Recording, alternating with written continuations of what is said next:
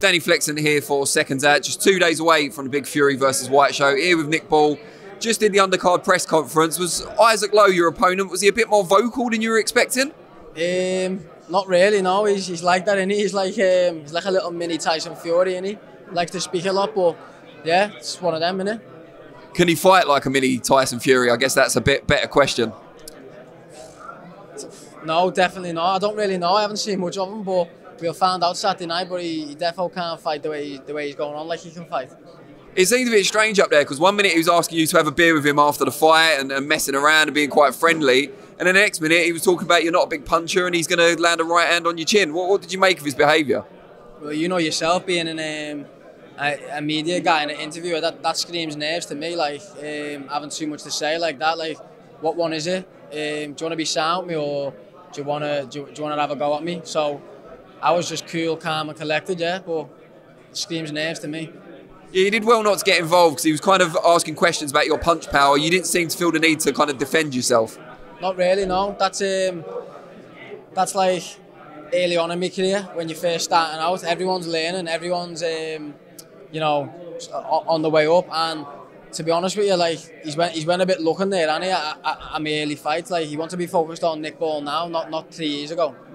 When you hear him saying he's prepared to meet you in the middle of the ring, go toe to toe, that's obviously your style. Does that make you quite happy? I mean, he might not actually do it, but does that make you happy that you think he could do that? If he does do that, he's going to have a bad night. yeah.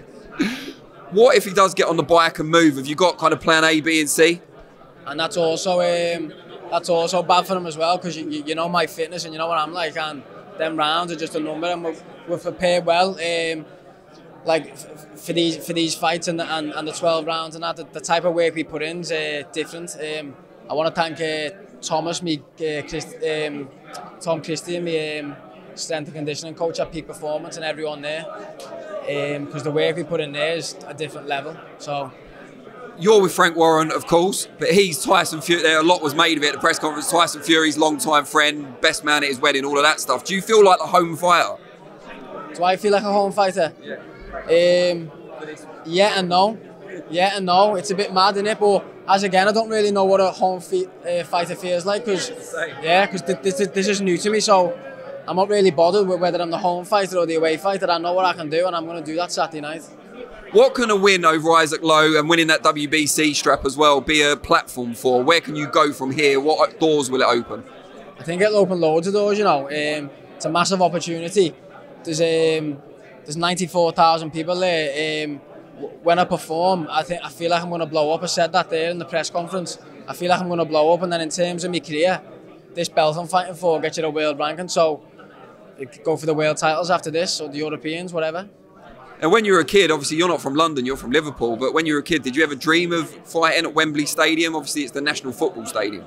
To be honest, I never even I never even thought of it, and I never thought I'd, I'd, I'd fight here. To be honest. Um, but now I'm here, it's, it's, it's mad to me. But um, I've just got to take it all in, yeah, and then have it, it's like a boss experience, isn't it?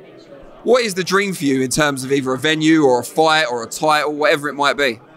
Um, the dream for me in, in, in, boxing is why you get in boxing is you want to become world champion, but you know that's like you reach that, then what? So then then you go on there and you make, you make new dreams and stuff like that. You just take everything as it comes on, on the journey. And just a comment about the current situation at ERT as well. You've got so much talent there. You've got Pete, uh, Andrew Cain's doing really well, the McGrail brothers, of course.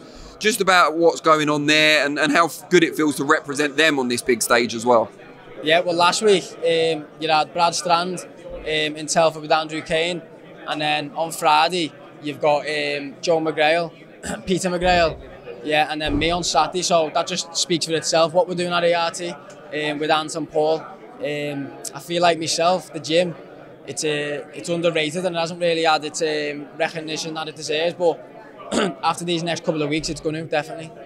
Brilliant. Well, very, very best of luck. Obviously, you got to go away now. Can't eat for another day. Well, you can eat, but you got to be careful for another day. But yeah, very best luck. Really looking forward to your fight.